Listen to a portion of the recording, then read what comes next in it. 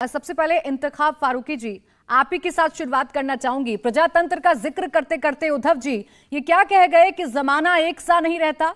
लोकतंत्र में धमकी की गुंजाइश तो नहीं होती, सर।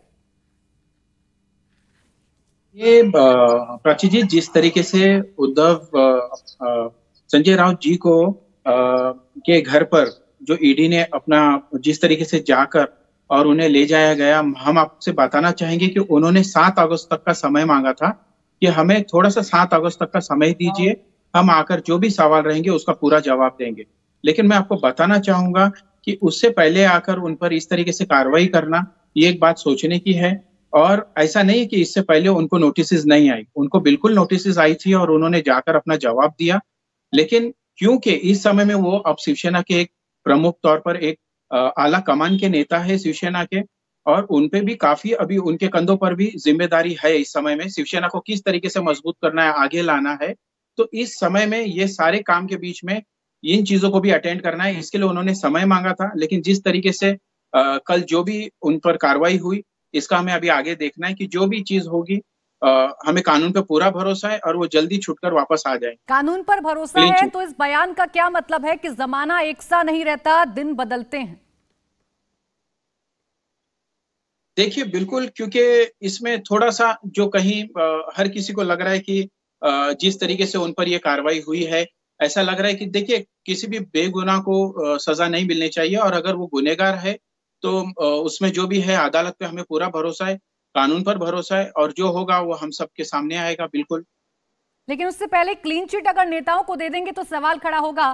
प्रेम शुक्ला जी जमाना एक सा नहीं रहता दिन बदलते हैं। उद्धव ठाकरे साहब कह रहे हैं आप ही की तरफ़ इशारा है और आप ही के लिए चेतावनी कह लीजिए, धमकी कह लीजिए। देखिए, किसी कौन गुनाहगार है, कौन बेगुनाह है, यह तय करना किसी पार्टी के पक्ष प्रमुख का दायित्व तो नहीं है, न उनका अधिकार क्षेत्र है। यह अधिकार क्षेत्र तय करने के लिए हमारे यहाँ न्यायपालिका है और वो न्यायपालिका बेहद चुस्त, दुरुस्त और स्वस्थ है। ऐसे में क्या श्रीमान उद्धव ठाकरे को भारत की न्यायपालिका पर विश्वास नहीं है। जब भारत की न्यायपालिका में ये मामला गया हुआ है, जब ईडी जो है, वो जवाबदेह है न्यायपालिका के लिए। अगर ईडी किसी पर गलत कार्रवाई करेगी तो निश्चित तौर पर उसका संज्ञान न्यायपालिका लेगी। और इनके पास तो वकीलों की बड़ी बड़ी फौज है। अब वो फौज आकर वहाँ सिद्ध कर दे इस तरह का पत्रकार सम्मेलन करके। लोगों को धमकाइया, चमकाइया करके क्या हासिल करेंगे? या तो याद ही है कि यहाँ इनके कार्यकाल में किस तरह से जो है अर्नब गोस्वामी जैसे पत्रकार के खिलाफ कार्रवाई हुई और सर्वोच्च न्यायालय ने श्रीमान उद्धव ठाकरे की सरकार को उसके लिए फटकारा। इनके कार्यकाल में किस तरह से एक फ़िल्म तारिका के खिलाफ कार्रवाई हुई और उसके लिए बॉम्बे हाईकोर्ट ने भयंकर तरीके से उद्धव ठाकरे की सरकार को फटकारा। तो ये इस तरह की कार्रवाई नवनीत राणा के खिलाफ किस तरह से हनुमान चालीसा पढ़ने पर राजद्रोह का मामला कर दिया। तो जो जिस तरह का काम करता है उसको लगता है कि दूसरे भी वैसे ही काम करते होंगे। ठीक है। हर अपराधी दूसरों को अपराधी समझने की गलती करता है। यहाँ पर जो भी कार्रवाई है वह तथ्यों के आधार पर है। तथ्यों के आधार पर कार्रवाई नहीं होगी। शुक्ला जी वो टाइमिंग को लेकर सवाल खड़े कर रहे हैं। उद्धव ठाकरे आदित्य ठाकरे कह रहे हैं कि आप मुद्दे को भटकाना चाहते हैं क्योंकि राज्यपाल ने जो बयान दिया उस बात का विरोध कर रही थी शिवसेना तो आपने भटका दिया शिफ्ट कर दिया मुद्दा और आप ईडी की एंट्री आपने करा भारतीय जनता पार्टी के नेताओं ने भी किया है। उसका विरोध तो भारतीय जनता पार्टी के नेताओं ने भी किया। तो उस, उसका क्या लेन देन इनको प्रवर्तन निदेशालय की नोटिस कब की है? प्रवर्तन निदेशालय ने इनके सहयोगी साथी प्रवीण राउत को फरवरी 2022 में गिरफ़्तार किया है और उसके एचडीआईएल के जितने भी लोग हैं, वो डेढ़ दो साल से जेल में है। तब क्या हुआ था मुझे बताएँगे जरा कि भाई एच जिसने पत्राचाल को डेवलप करने में जिस कंपनी को एफएसआई मिली और कृपा करके आदरणीय उद्धव ठाकरे बताए, जो छह टेनेंट है, जो महाडा में अपना घर जिनका था, जिनके घरों को गिरा दिया गया और पंद्रह सोलह वर्षों से 2008 से 2022 14 वर्षों से वो उनको ना अपने घर का किराया मिल रहा है उनका घर वापस मिल रहा है। हाँ। उनके प्रति कोई जवाबदेही उद्धव ठाकरे की है कि नहीं है?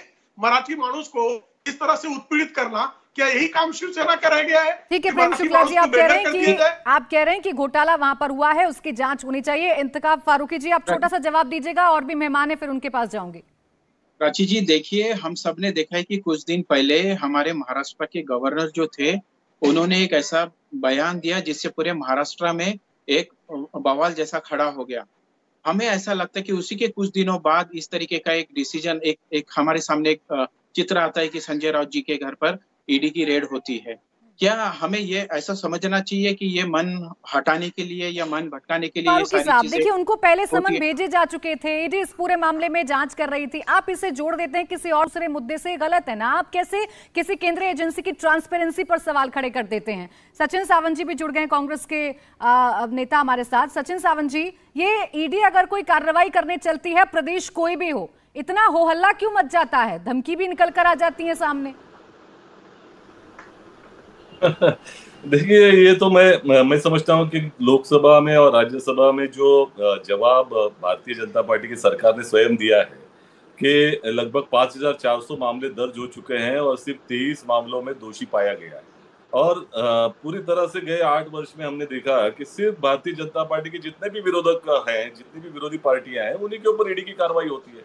अब जो इस तरह से अभी महाराष्ट्र में देखा जाए तो दो चीज़ों के बारे में मैं बताना चाहूँगा। मैं प्रेम शुक्ला जी को भी सुन रहा था। उन्होंने यही पत्राचाल का मामला बताया और उन्होंने कहा कि मराठी मानुस को जगह देने के लिए या लोगों ने जो देना चाहिए था उसके अजाय उन्होंने घोटाला कर दिया।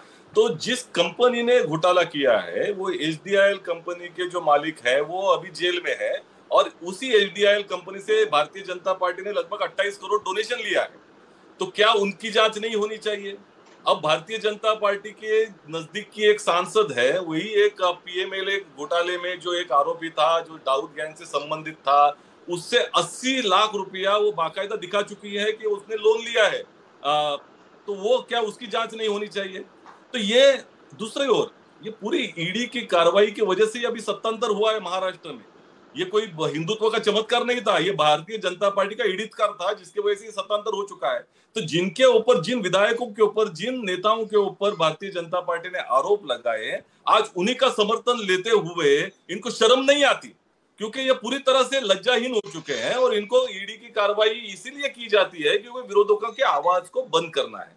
तो यहाँ संजय राउत जी के ऊपर कार्रवाई हो रही है तो पूरे देश भर में जितने भी विपक्ष के लोग हैं उनके ऊपर कार्रवाई हो रही है। नहीं देखिए तो निश्चित तौर पर आज उसी महाराष्ट्र में हमने देखा था फिर कैसे कार्रवाई हुई थी चाहे नवनीत राणा को ले लीजिए चाहे उनके पति का केस आप ले लीजिए, चाहे आप एक्ट्रेस कंगना रनौत की बात ले लीजिए कि तब क्या कार्रवाई हुई थी और तभी भी इसी तरीके के आरोप लगे थे। हमारे साथ एनसीपी के प्रवक्ता भी मौजूद है, महेश चौहान जी। महाराष्ट्र में अगर ईडी काम कर रही है ईडी अगर जा रही है, अगर किसी को समन भेजने के बाद वो आ नहीं रहा ईडी उसे गिरफ़्तार कर रही है, दिक्कत क्या है? सच्ची तो बाहर आएगा आने दीजिए। प्राची जी बिल्कुल सही है। अगर ईडी प्रामाणिकता से काम करती है तो ईडी को काम करने दीजिए। इस पर कोई आपत्ति होने का सवाल ही नहीं उठता। ईडी एक स्वतंत्र यंत्रणा है स्वायत्त यंत्रणा है। आ, उन्होंने काम करते हुए सिलेक्टिवनेस नहीं दिखाना चाहिए। मेरा कहना यह है कि क्यों ईडी सिलेक्टिवली काम कर रही है? क्यों ईडी चुनिंदा गैर भाजपा के लोगों पर ही एक्शन ले रही है? आप देखिए पूरी पूरे भारत में तेरह सौ से ज़्यादा भाजपा के विधायक है। तीन सौ तीन उनके सांसद है। राज्यसभा के उनके सदस्य वो नब्बे से ज़्यादा है। तो ये सब लोग 18 राज्यों में भाजपा का भाजपा की सरकार है केंद्र में भाजपा की सरकार है। तो आ, ये ऐसा कहना चाहते हैं ईडी कि ये 18 राज्यों में जहाँ जहाँ पर भाजपा के राज्य है उनकी सत्ता है वहाँ पर बिल्कुल करप्शन नहीं है। वहाँ के उनके भाजपा के जो विधायक है सांसद है वो बिल्कुल मनी लॉन्ड्रिंग नहीं करते।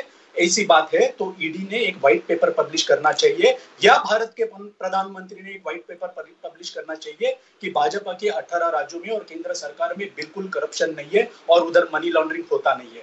हमारा सवाल सिर्फ़ इतना ही है अगर ईडी सही तरीके से काम करती है तो, तो महेश चौहान जी अगर आप आपको लगता है किसी और स्टेट में करप्शन हो रहा है आप ही के स्टेट में अब जो सरकार है वो करप्शन करेगी तो आपके पास भी तो न्यायालय का दरवाज़ा खुला हुआ है आप जा सकते हैं आप अपने जितने सबूत हैं वो पेश कर सकते हैं। इंडिया टीवी हर वक्त हर जगह। डाउनलोड करने के लिए सर्च करें India TV news Google Play Store या एप स्टोर पर।